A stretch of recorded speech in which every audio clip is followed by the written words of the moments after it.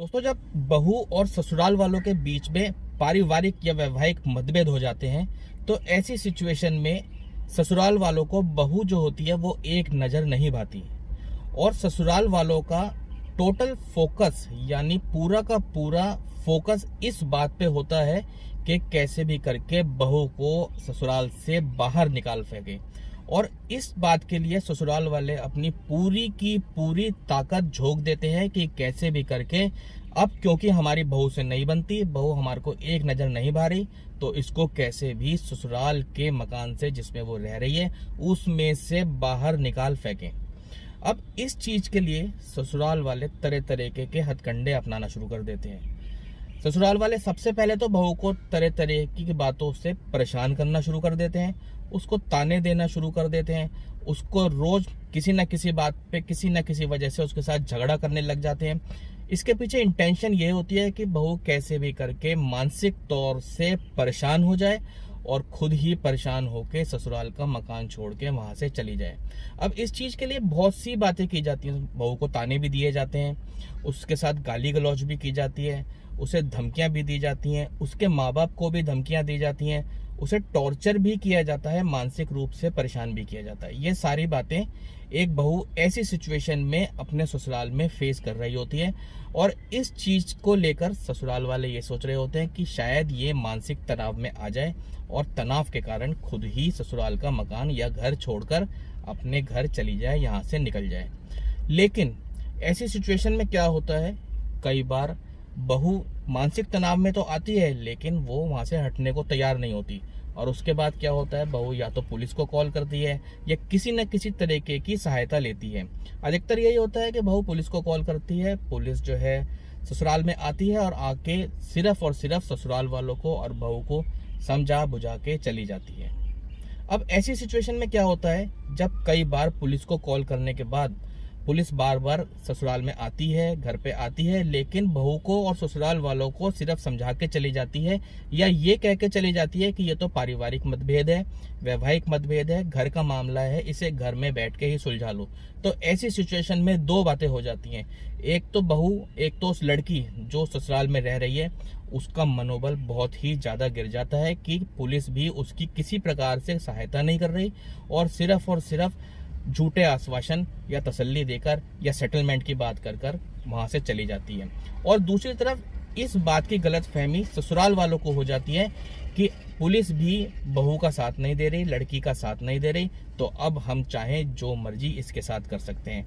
और इस गलत फहमी में आकर ससुराल वाले एक बड़ा कदम उठाने की सोच लेते हैं। बहू के साथ मारपीट लड़ाई झगड़े शुरू कर देते हैं और उसको साथ ज़ोर ज़बरदस्ती करके, यानी मारपीट करके, धक्के मार के या किसी भी तरीके की ज़ोर ज़बरदस्ती करके उसे ससुराल के मकान से बाहर निकालने की कोशिश करने लगते हैं बार बार अटेम्प्ट करने लगते हैं। तो आज इस वीडियो में यही बताना मैं चाहता हूँ कि क्या एक बहू, एक लड़की जो अपना परिवार छोड़ के, अपने पति के भरोसे पर अपने ससुराल में रहने आई है, क्या उस बहू को उस ससुराल के मकान से जिसमें वो रह रही है। ससुराल वाले क्या उसे उस मकान से ज़ोर ज़बरदस्ती से बाहर निकाल सकते हैं? क्या बहू को जिस मकान में वो रह रही है, जिस मकान के वो कब्जे में है, भले ही वो ससुराल वालों का मकान है या किसी का भी मकान है, क्या उस मकान से ज़ोर ज़बरदस्ती करके बहू को बाहर निकाला जा सकता है, उसे धक्के मार के ससुराल से बाहर निकाला जा सकता है। आज बात करने वाले हैं इसी टॉपिक पर इस वीडियो के बारे में। तो इस वीडियो को शुरू से लेकर अंत तक ज़रूर देखें। अगर एक भी पॉइंट आपने मिस कर दिया तो बात अधूरी रह जाएगी, आपको समझ में नहीं आएगी। तो वीडियो को स्किप बिल्कुल ना करें।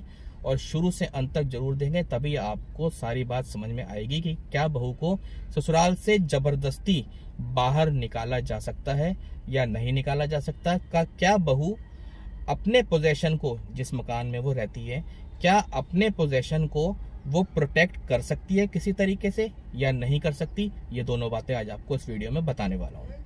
अब देखिए, बहू अगर ससुराल में रह रही है, चाहे वो ससुराल के पूरे मकान में रह रही है, या ससुराल के किसी एक कमरे में बहू रह रही है, उसका कब्जा है, उसके सारे हाउस होल्ड आर्टिकल्स उसके बिलोंगिंग उसका बेड टीवी फ्रिज उसका सारा सामान वहाँ रखा हुआ है। तो इसका मतलब ये है कि बहू का उस प्रॉपर्टी पर या उस प्रॉपर्टी के एक कमरे पर कब्जा है। अब अगर बहू का वहाँ कब्जा है, यानी बहू का उसमें पोजेशन है, बहू वहाँ रह रही है तो उसे उस प्रेमाइसिस से ज़बरदस्ती बाहर नहीं निकाला जा सकता। यही कानून है। जी हाँ अगर बहू ससुराल में रह रही है, चाहे पूरे मकान में या मकान के सिर्फ़ एक कमरे में तो मैं फिर बताता हूँ कि उसे उस प्रॉपर्टी से, उस प्रेमाइसिस से, चाहे एक कमरे से, ज़बरदस्ती बिल्कुल भी बाहर नहीं निकाला जा सकता। ससुराल वाले उसे ज़बरदस्ती बाहर नहीं निकाल सकते। यही कानून है। और इस कानून को कैसे अपने बेनिफिट के लिए इस्तेमाल करना है, कैसे इस कानून की सहायता लेकर अपने फेवर में कोई राइट्स कोई रिलीफ कोर्ट से लेना है, अब इस बारे में भी बताने वाला हूँ। जनरली क्या होता है, जब बहू के साथ इस तरीके के वारदात हो रही होती हैं, इस तरीके के इंसिडेंट्स हो रहे होते हैं, बहू के साथ ताने मारे जा रहे होते हैं, बहू को धक्के मारकर बाहर निकालने की कोशिश की जा रही होती है। उसके साथ मारपीट, लड़ाई, झगड़े किए जा रहे होते हैं या उसको थ्रेट्स दी जा रही होती हैं, इस बात की धमकियाँ दी जा रही होती हैं कि हफ़्ते दस दिन के अंदर या बहुत जल्द तुम्हें इस घर से धक्के मारकर बाहर निकाल देंगे। इस तरीके की वारदात जब एक बहू के साथ हो रही होती है, ससुराल में वो ये सब चीज़ें फेस कर रही होती है तो ऐसे में जनरली सबसे पहला कदम जो एक लेडी या एक बहू उठाती है, वो ये कि वो पुलिस को इस बात की सूचना देती है, पुलिस को इन्फॉर्म करती है। अब ऐसे में होता क्या है? पुलिस आती है, पुलिस आने के बाद सेटलमेंट इश्यूज़ बनाती है, घर में बात करती है कि भाई आपका पारिवारिक मामला है, इसको सेटल कर लो, उससे ज़्यादा कुछ नहीं करती और ना ही आपके पोजेशन को, जिस मकान में आपका कब्जा है, जिसमें आप रह रहे हो, उसको प्रोटेक्ट कर पाती, उसको सिक्योर कर पाती और ना ही बहू को उस मकान में रहने का अधिकार दिला पाती और ना ही उसे संरक्षण दे पाती। बहरहाल, अंत में होता क्या है कि यही सब असमंजस में समय निकल जाता है और एक दिन ससुराल वाले बहू को ज़बरदस्ती ससुराल की प्रॉपर्टी से प्रेमाइसिस से बाहर निकाल देते हैं। अब ऐसे में एक बहुत ही बड़ी निराशा उस लेडी के मन में आ जाती है, बहू के मन में आ जाती है कि भाई पुलिस ने तो मेरी कोई सहायता ही नहीं करी और पुलिस का क्या फ़ायदा कि मैं उस मकान से बाहर निकाल दी गई, ज़बरदस्ती बाहर निकाल दी गई। इसके बावजूद कि मैंने पुलिस में कई बार शिकायत की थी कंप्लेंट की थी। अब यहाँ पे मैं बताना चाहता हूँ, यही कानून मैं समझाना चाहता हूँ कि अगर कोई लेडी किसी मकान के, ससुराल के मकान के या कमरे के पोजेशन में है, कब्जे में है, और उसको डर है कि उसको बहुत जल्द इसके कब्जे से बाहर निकाल दिया जाएगा या उसको धक्के मार के बाहर निकाल दिया जाएगा या धमकियाँ आ रही हैं कि उसे जल्दी बाहर निकाल देंगे।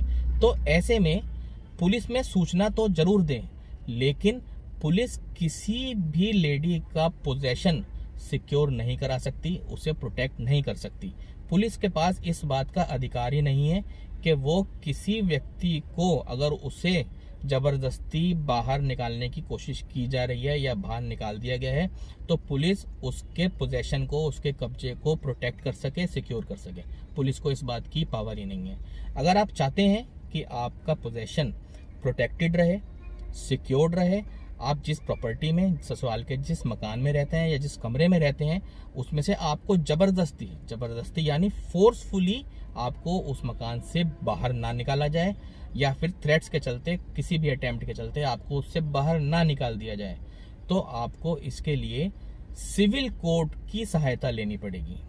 जी हाँ ये बात समझना बहुत ज़रूरी है, भले ही आपने पुलिस में शिकायत कर दी, लेकिन अगर आप चाहते हैं कि आपका पोजेशन सिक्योर्ड रहे प्रोटेक्टेड रहे तो आपको सिविल कोर्ट की सहायता लेनी पड़ेगी।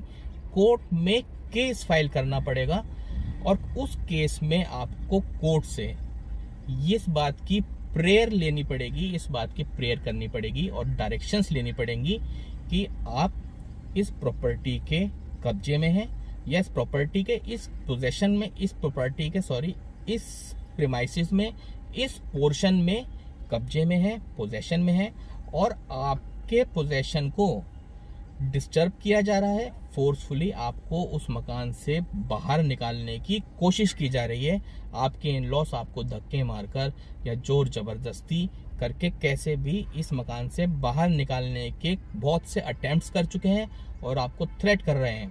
इस तरीके का केस अगर आप सिविल कोर्ट में फ़ाइल करेंगे तो सिविल कोर्ट आपके राइट्स को, आपके पोजेशन को प्रोटेक्ट करेगी, उसे संरक्षण देगी, आपका पोजेशन को सिक्योर करेगी, भले ही आप उस प्रॉपर्टी के, जिस प्रॉपर्टी में आप पोजेशन मांग रहे हैं, जिस प्रॉपर्टी के कब्जे में है, भले ही आप उस प्रॉपर्टी के ओनर हैं या नहीं है irrespective of this fact that whether you are the owner of that premises और नॉट पुलिस वाले उसमें नहीं करेंगे कुछ, लेकिन सिविल कोर्ट ऐसी सिचुएशन में आपको प्रोटेक्शन देगी आपको उस प्रॉपर्टी पर स्टे देगी और ये ऑर्डर्स ज़रूर पास करेगी कि उस प्रॉपर्टी से आपको ज़बरदस्ती यानी फोर्सफुली बाहर नहीं निकाला जाएगा। अगर आपसे कोई उस प्रॉपर्टी का पोजेशन क्लेम कर रहा है तो उसको with due process of law यानी कानून के ऑर्डर से ही, कानून के ऑर्डर्स लेने के बाद ही आपको उस प्रॉपर्टी से बाहर निकाला जा सकता है। कोई भी व्यक्ति आपको उस प्रॉपर्टी से फोर्सफुली बाहर नहीं निकालेगा। इस बात का ऑर्डर कोर्ट आपके फेवर में देगी और आपका पोजेशन प्रोटेक्ट हो जाएगा सिक्योर हो जाएगा और आपके फेवर में इस बात का स्टे कोर्ट से मिल जाएगा कि आपको उस प्रॉपर्टी से जबरन या ज़बरदस्ती बाहर नहीं निकाला जाएगा। तो दोस्तों, उम्मीद करता हूँ अब आपको ये बात समझ आ गई होगी कि if you wants to secure your possession against forceful dispossession you have to file a civil suit before the civil court मतलब अगर आप चाहते हैं कि आपको, आपकी प्रॉपर्टी जिसके कब्जे में आप हैं, उसमें से ज़बरदस्ती बाहर ना निकाला जाए, ज़ोर जबरन आपको फोर्सफुली वहाँ से बाहर ना निकाला जाए तो आपको सिविल कोर्ट में फ़ाइल करना पड़ेगा एक केस और वहाँ से ऑर्डर्स लेने पड़ेंगे कि आपको उस प्रॉपर्टी से ज़बरदस्ती बाहर ना निकाला जाए, वहाँ से आपको स्टे ऑर्डर लेना पड़ेगा। तभी आप अपने पोजेशन को, अपने कब्जे को सिक्योर कर सकते हैं लीगल तरीके से। वीडियो पसंद आए तो लाइक शेयर एंड कमेंट कर दें। चैनल को सब्सक्राइब कर लें और बेल आइकन को दबाना ना भूलें, जिससे हमारे वीडियो की नोटिफिकेशन आप व्यूअर्स तक पहुँचती रहे। आपका कोई सवाल, आपकी कोई क्वेरी आप कमेंट सेक्शन में लिखें। आपकी बातों का जवाब देने की पूरी पूरी कोशिश की जाएगी। इसी के साथ विदा लेता हूँ। अगली वीडियो में बहुत जल्द मिलूँगा आपसे। तो दोस्तों, मस्त रहें, स्वस्थ रहें, हँसते रहें, मुस्कुराते रहें। आप हैं तो हम हैं, इसलिए स्टे सेफ़ स्टे अलर्ट आपका दिन शुभ हो।